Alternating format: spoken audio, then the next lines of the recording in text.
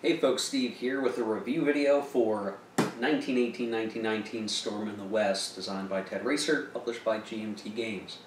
Uh, well, here we are guys, the long road, we have finally gotten to the end. Um, if you've watched my channel in the past, you know uh, we were watching for this game way back when it was on the P500, was nearly removed from the P500 list because it didn't have enough pre-orders, um, and via some combination of good fortune, uh, the game stayed on the P500 list and was produced, and here we are. Uh, played and able to be reviewed by myself here on uh, camera for you. Um, so this review is based on the solitaire playthroughs that I performed. You can watch those videos on my channel if you haven't already.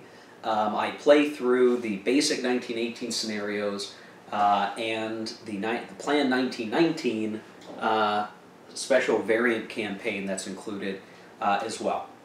So if you'd like to see the game played and really get a feel for what the game is like, you can watch those videos. Uh, I will do uh, what I usually do in my review videos and provide sort of an explanation of the game mechanics sort of in the middle uh, of the video.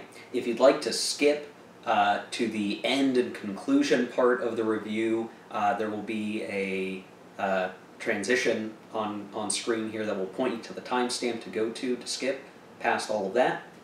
But uh, just to give you some context, this is a, a World War I game, obviously, operational in scale, covering the, uh, predominantly covering the 1918 uh, offensives, including the sort of the Ludendorff offensive, also called the Kaiserschlacht or the Spring Offensive, and then the Allied offensive uh, in the later part of the year that eventually helped, you know, break German morale and, and bring them into a surrendering uh, position for the end of World War One. Uh, the games, the game uh, is predominantly uh, corps based and features infantry units, some cavalry, uh, and yes, some uh, tank units for the Allies. And in the Plan 1919 scenario, you have a little more variation on that, which you can see in my previous videos.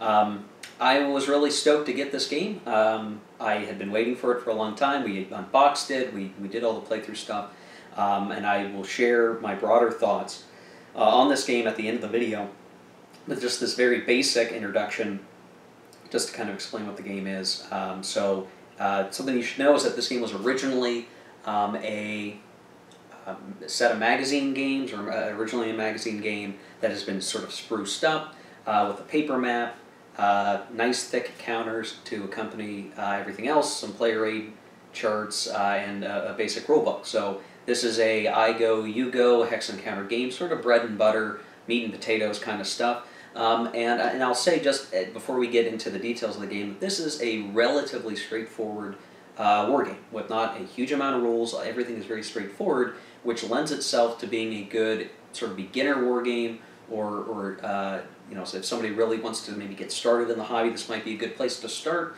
Uh, but it has its own own bits. It's World War One, which brings with it certain um, uh, certain game mechanics that some folks may may not like, and, and we'll get into to some of that into the, the middle chunk of this video. So, um, yeah, let's go ahead and transition to the details. Again, if you want to skip to the end, uh, we'll give you the timestamp for that. Uh, but let's take a closer look at the game itself.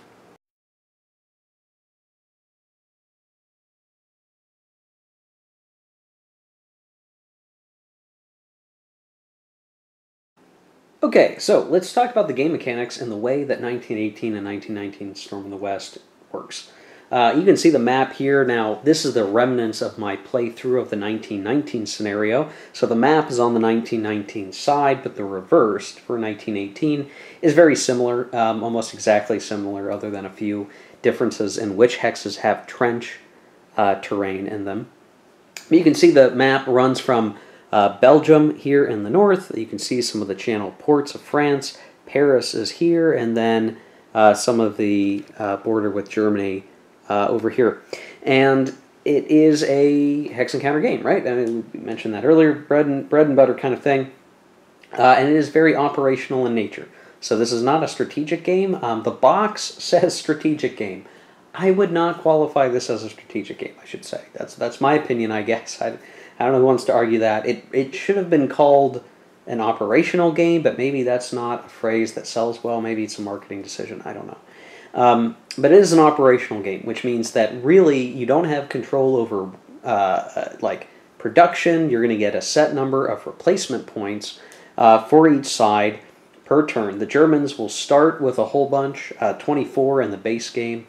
Uh, the various other allied factions will have a variant number of replacement points that they have uh, saved up, and then you're going to use those replacement points uh, to replenish uh, flipped units. Units come in basically uh, one or two steps. So here's a regular French uh, infantry corps.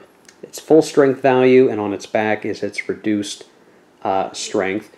So you can spend a replacement point to flip a unit back up as long as it's in supply. Uh, if it's been removed from the board because it was eliminated, you can spend a point to return it. But where those units will come back onto the board will either be on uh, the border here, if they're French or American, or the channel ports if they're British up here. Uh, and they'll need to be strategically moved to a city or a town uh, closer to the front to be of value. Now, one important rule thing there is that you can't combine normal movement and strategic movement in a given turn. So once a unit is removed, it can be quite some time before that unit is back uh, in the front line doing a lot of activity.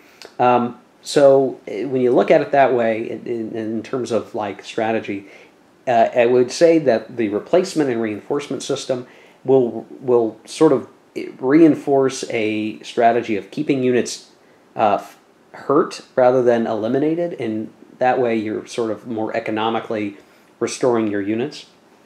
So there's no like production model. That's why it's not a strategic game in my mind. It's operational. You've got units on the board that are fighting, um, and you get just sort of replacement points uh, at large to use to replace uh, your units, whether that means uh, they're infantry or they're more specialized units uh, like the tanks there are some exceptions to that in the 1919 scenario, but broadly speaking, it, it's not like you have control over production. It's you're going to get a certain number of reinforcements. You're going to get a certain amount of replacement points to bring damaged units back up to full strength.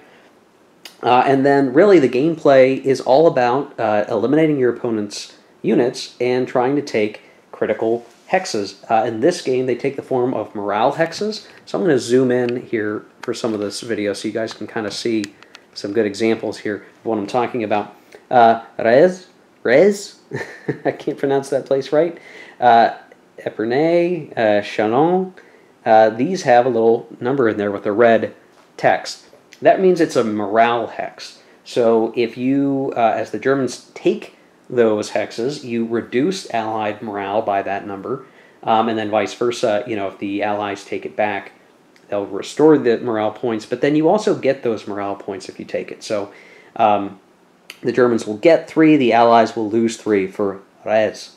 Um, and two here and two here, so like altogether, these little trio of morale hexes are worth seven morale, which is pretty significant.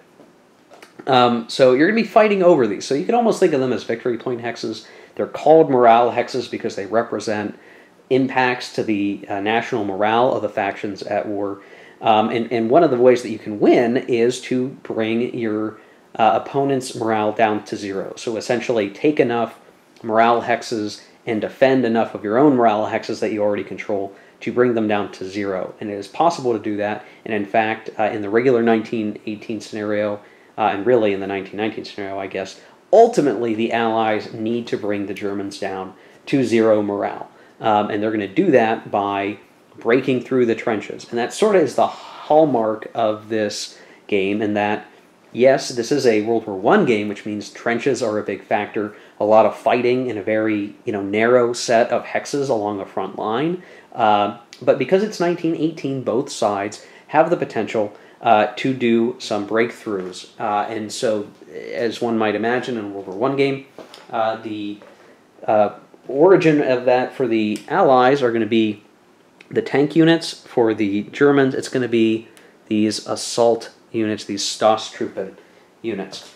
Um, and so both sides have that capability, and they'll usually, depending on the scenario that you're playing, um, have access to those units' ability to infiltrate hexes uh, more easily at different points in the game. The game is basically structured that the Germans have the offensive initiative at the early part of the game, reflecting the Ludendorff offensive. The Allies will have the uh, sort of offensive initiative in the later part as more Americans arrive and tanks are uh, more readily available for combat and all that good stuff.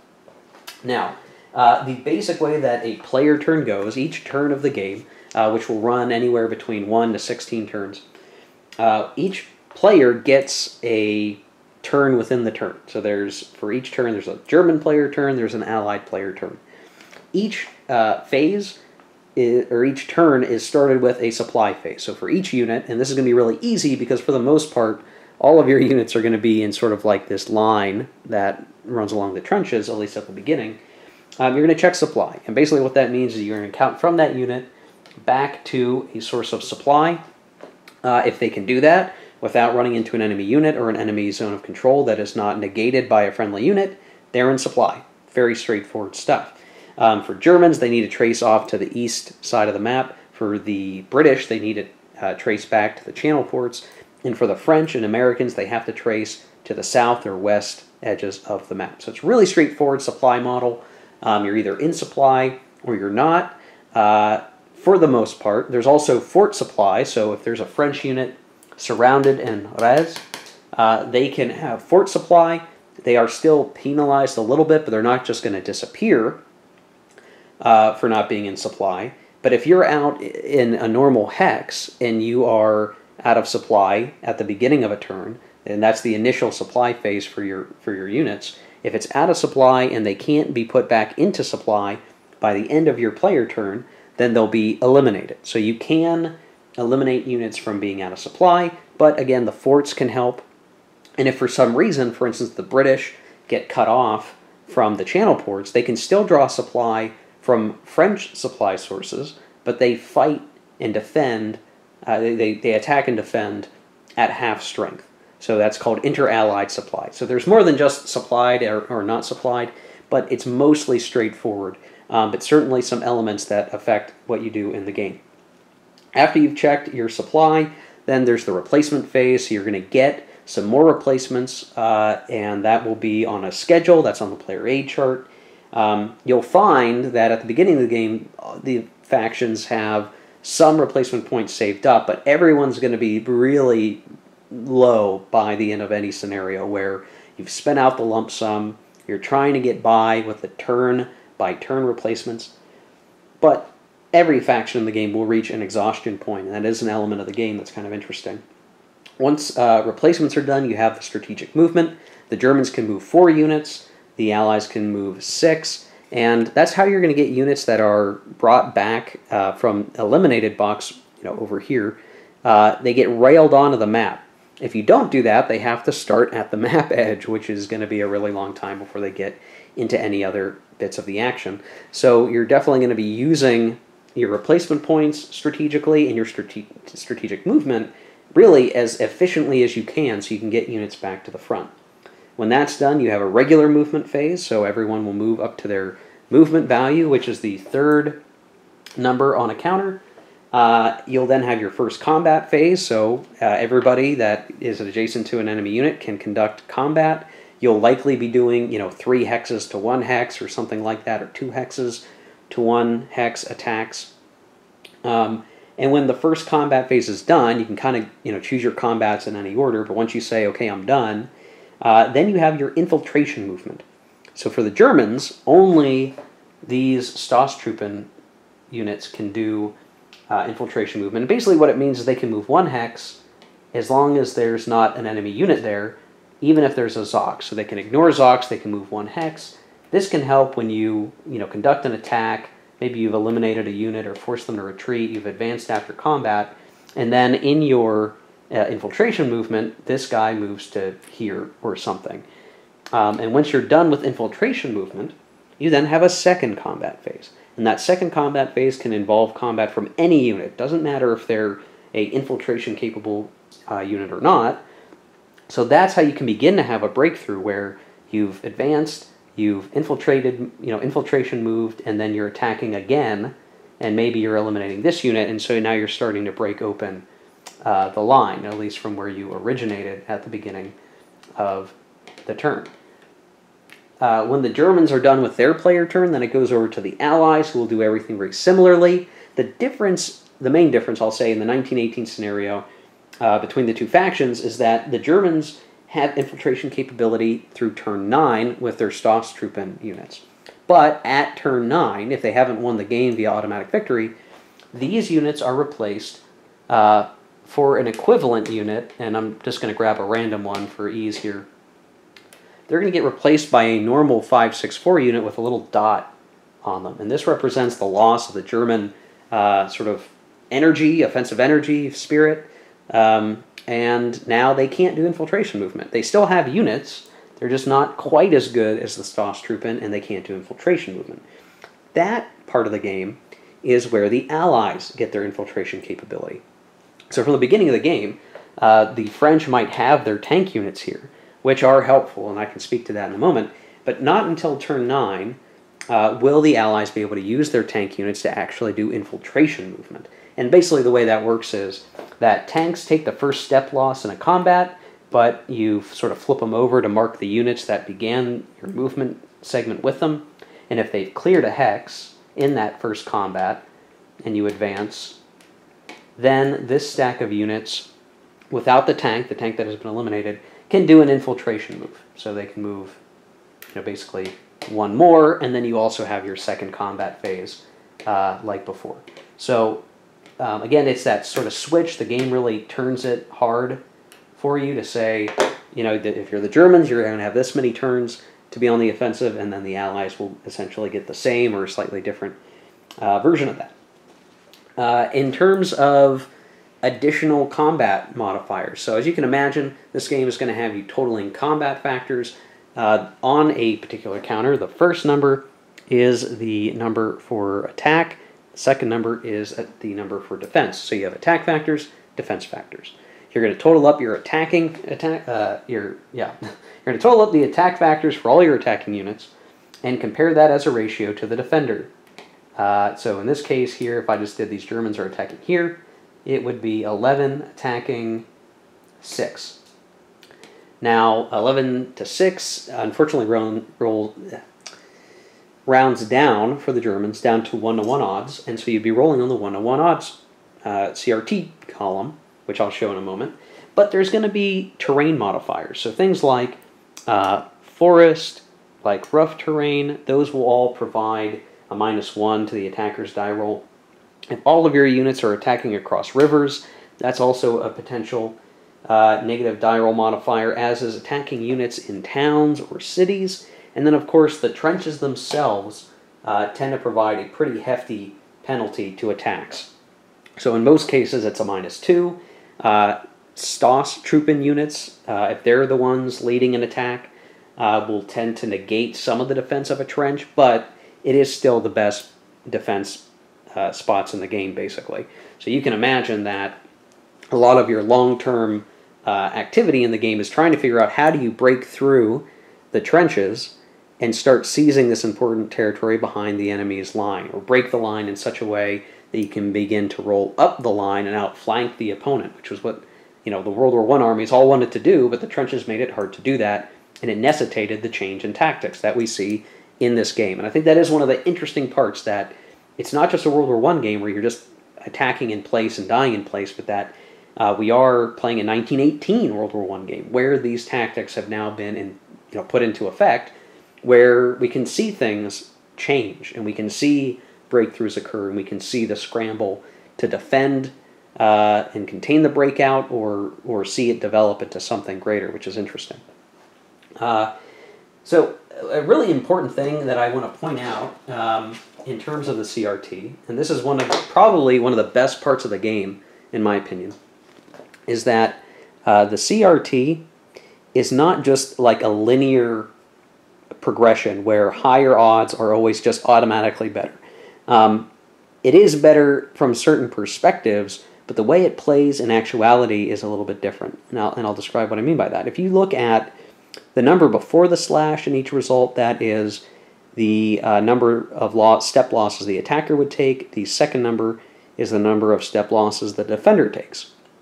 Obviously, the higher odds ratio you have, the greater likelihood that the defender's losses will be higher. So if you look at just even 2 to 1 odds 0, 1, 1, 1, 1, 1, 1, 2, 2, 2, 3, 3, 3, right? 6 to 1 is obviously better. It's 2, 2, 3, 3, 3, 3, 3, 4, 4, so on. Now that is better, right? It's not a whole lot better, right? You're seeing a shift of a couple based on a really huge difference in the odds. But what also goes up across the board just about is the step losses for the attacker. Now there are certainly CRT game, uh, CRTs out there for World War One games where the attacker losses get smaller at the higher odds, but in this game they get more bloody. You may not always want to actually attack at six to one odds, and in fact, if you have enough, uh, you know, die roll bonuses, you might opt for a 2 to 1 or a 1 to 1 or a 3 to 1 combat, even if you're capable of launching a 5 to 1, 6 to 1, 7 to 1, depending on what you're trying to do. And I think that is probably one of the great strengths of this game, where it's not just get as many factors as possible, it's get the right number of factors for what you want to do. So, for instance, if you can raise your uh, CRT odds really, really high, you have a greater chance of eliminating a two uh, sided unit, a, a two step unit. Um, basically, the defender can always choose to take one step loss as a retreat. So if this unit had to take two step losses, it could take one and then retreat one hex. Now, sure, they give up the hex and the advance after combat will happen and all that, but this unit stays alive, which is important for the defender. They can replenish this unit on the allied turn right after the Germans and can potentially counterattack. And I'll point out the Germans do not get any defensive bonus from the allied trench. So you certainly could have counterattacks that are very effective. But by taking that step loss and then retreating, you are maintaining some cohesion. But if the Germans decided that they really needed to eliminate this unit and really needed to take this hex, if they managed to concentrate enough for really high odds, they increase the chance that the defender will take three losses. And no matter what, one, two, three, this unit will be eliminated. If that's what you want to do. Um, so if you're looking to take positions, then massed assault will be more beneficial potentially.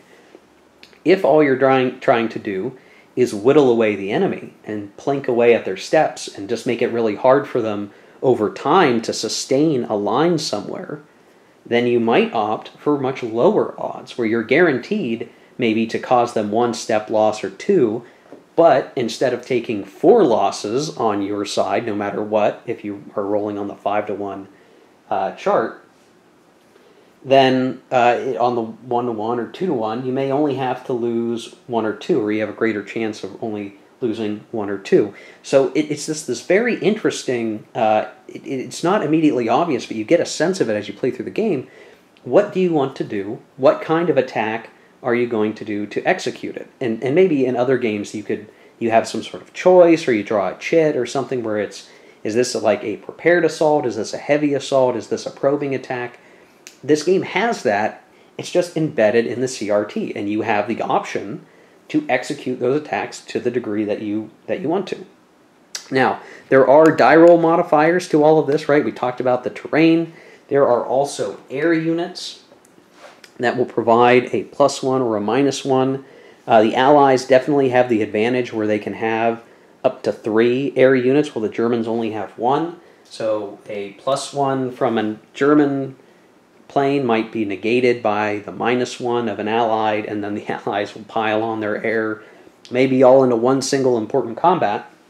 But you do have the air units, and they can just be you know picked wherever in whatever combat if they want to be used, um, and you can do that once per turn. Uh, the air power doesn't have a huge effect on the game, but it is kind of nice. There is a little bit of a shell game. Does the German player use theirs, or do they wait to negate a, uh, an allied one? Um, there's a little bit of that because you're talking so few actual units. There's not a huge amount of you know air impact there. Um, there are a few specialty units that can come into play. So uh, the Germans have this uh, artillery group unit that can provide within a range of two 15 additional combat factors to any combat, which can make things very bloody, but can be very powerful to shift the odds in your favor. Uh, and they, whenever this is used, this also provides a plus one. So uh, that, that's another ability that in the early game the Germans can take advantage of and try to bust through the Allied trenches somewhere.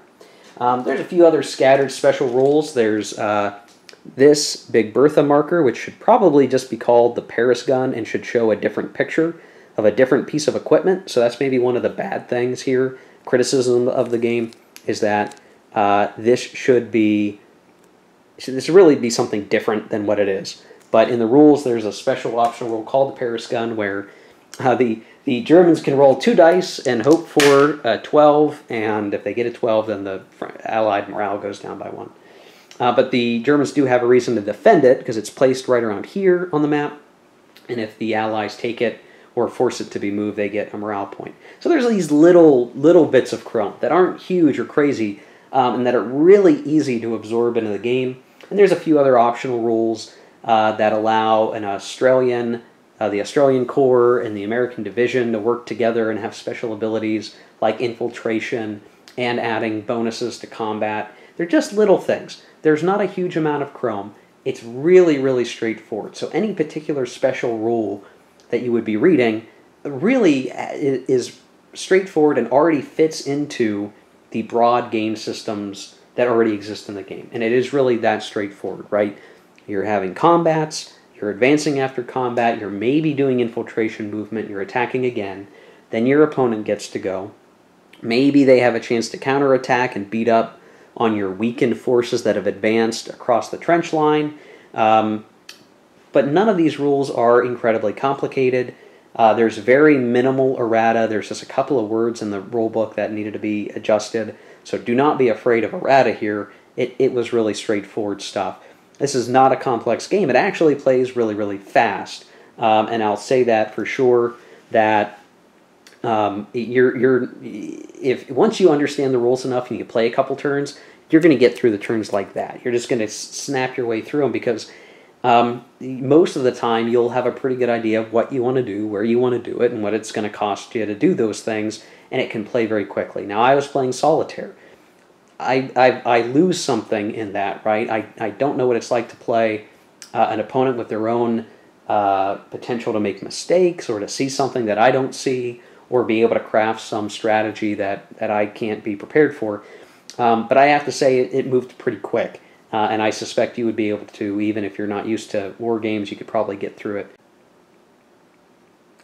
Okay, so my camera had a screw up. I'm not sure why. Um, so I'll pick up where I left off, hopefully. I hate when this happens when my camera screws up. Um, that you're really going to be careful about your German setup. If you set up with your Stosstruppen too spread out, you're going to end up in a total failure situation and you're not going to have enough offensive oomph to make it a real exciting game. What you need to do is concentrate your Stosstruppen. Wherever you decide to make your big offensive play, try to get them all together in a span of several hexes so you have a big, you know, fist to punch the hole, uh, punch the hole in the line that you want to have happen. And what's interesting is the Germans in the basic, and there goes my camera again. The Germans will get to decide: are they going to uh, focus in the north up here? Are they going to focus heading towards Paris? Are they going to focus on Verdun? Um, the Germans have that option. So as long as you keep your Stosh troops together and massed, that will be better than if you spread out. So just a suggestion if you're watching this and didn't see the disaster in my playthrough series before I had to reset the game. Um, okay, yeah, I mean, I think that for the most part, that is all I think I need to explain for the way the game works. Um, again, plenty of uh, evidence to, to, to watch if you really want to do that, but this is a pretty straightforward game. So I think we can kick it over uh, to the conclusion and the real the overall review of the game um, and really what I think about the whole package. So let's head over that way.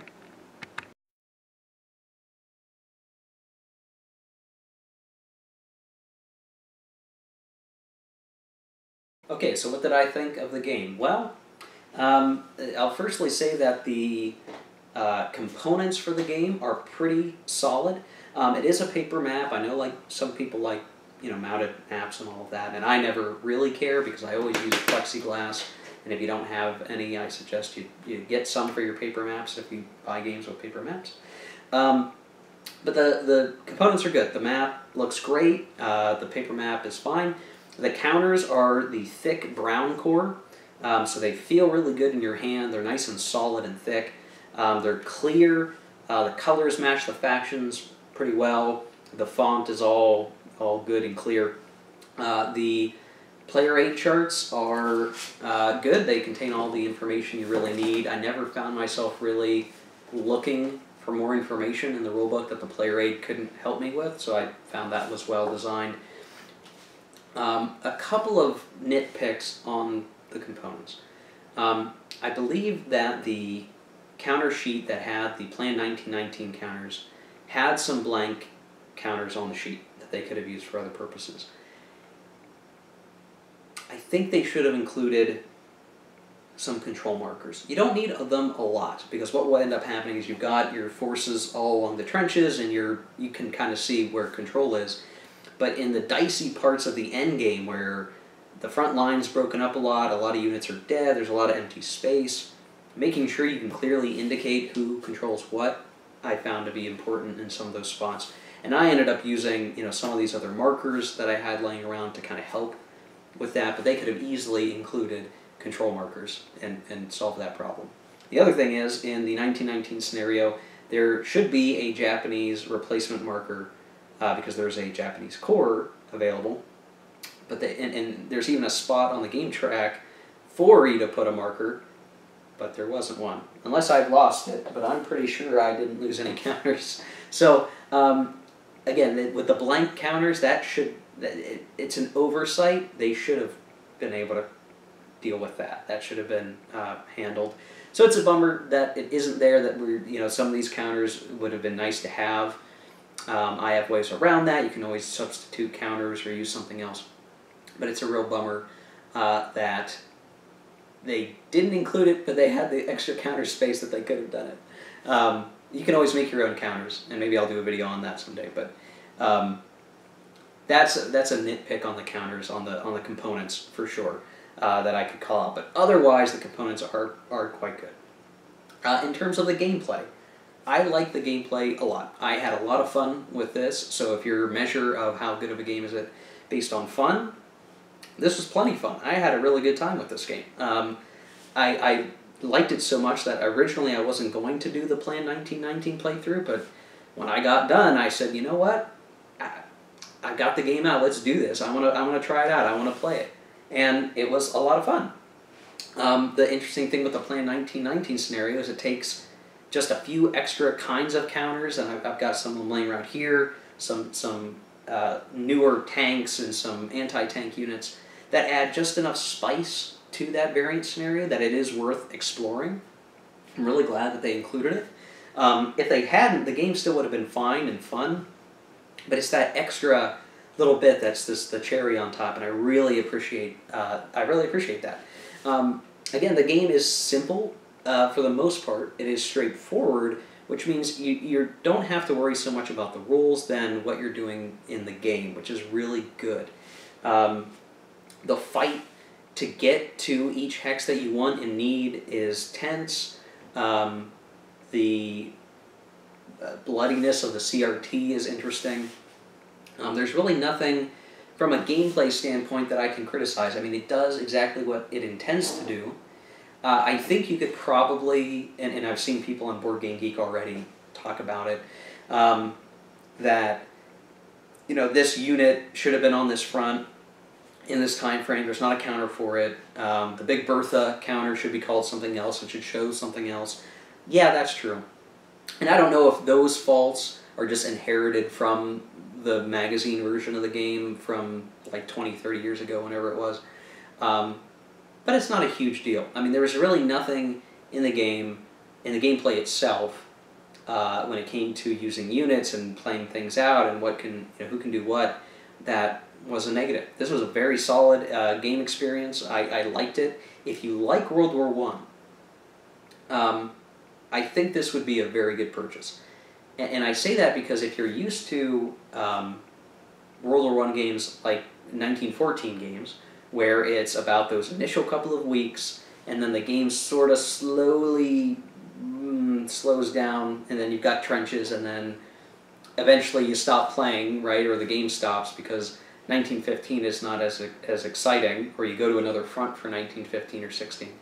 Um, 1918 helps shake that up. So if you played a, a 1914 game and you had the movement and rapid, you know, advances and all of that, and then it slows down, and you want to see the other side of that tunnel where the trenches are broken, uh, you get to play this and you get to experience that. Um, you know, you will probably never have a scenario go exactly to history because the German player's never going to make those same mistakes as the historical German commanders did. They might make worse mistakes, um, but they won't make the same mistakes probably, and they'll probably do much, much better.